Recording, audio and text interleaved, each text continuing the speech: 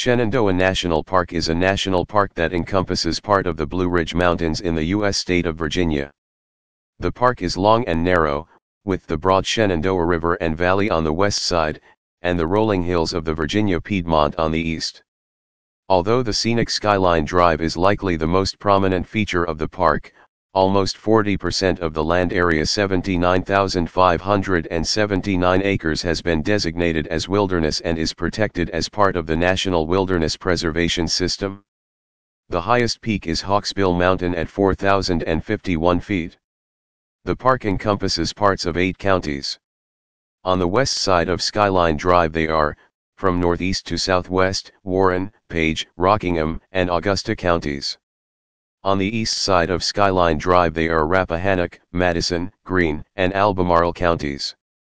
The park stretches for 105 miles along Skyline Drive from near the town of Front Royal in the northeast to near the city of Waynesboro in the southwest. The park headquarters are located in Luray. Shenandoah National Park lies along the Blue Ridge Mountains in north-central Virginia. These mountains form a distinct highland rising to elevations above 4,000 feet. Local topographic relief between the Blue Ridge Mountains and Shenandoah Valley exceeds 3,000 feet at some locations. The crest of the range divides the Shenandoah River drainage basin, part of the Potomac River drainage, on the west side, from the James and Rappahannock River drainage basins on the east side some of the rocks exposed in the park date to over 1 billion years in age, making them among the oldest in Virginia. Bedrock in the park includes Grenville Age granitic basement rocks and a cover sequence of metamorphosed Neoproterozoic sedimentary and volcanic rocks of the Swift Run and Catoctin formations. Columns of Catoctin formation metamorphosed basalt can be seen at Compton Peak. Clastic rocks of the Chilhowee group are of early Cambrian age. Quaternary surficial deposits are common and cover much of the bedrock throughout the park. The park is located along the western part of the Blue Ridge Anticlinorium, a regional scale Paleozoic structure at the eastern margin of the Appalachian Fold and Thrust Belt.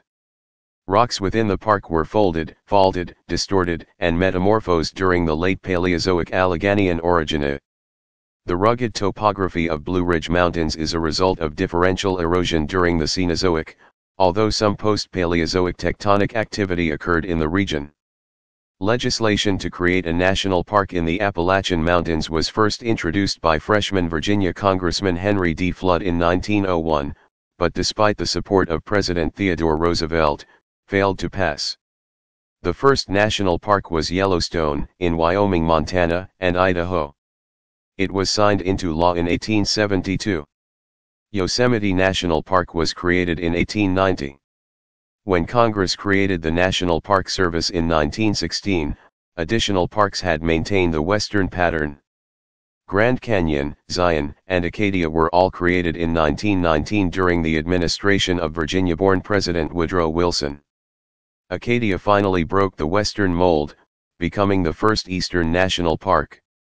It was also based on donations from wealthy private landowners.